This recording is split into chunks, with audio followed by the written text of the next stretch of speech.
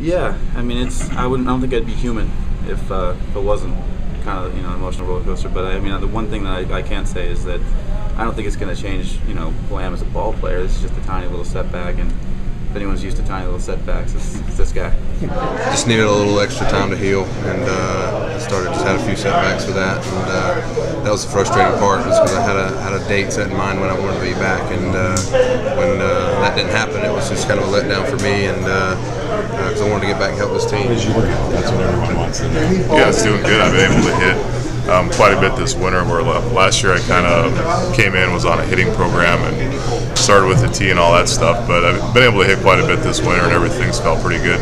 I think last year was a huge learning experience, you know, especially for myself, getting through all the tough times. And you know, I was I was hot for probably two months there, so you know that's that's good to see. That was probably the best I've hit in my career for that span. So um, you know, I take last year as you know a huge step. You know, I, I think it's a huge positive step in my career.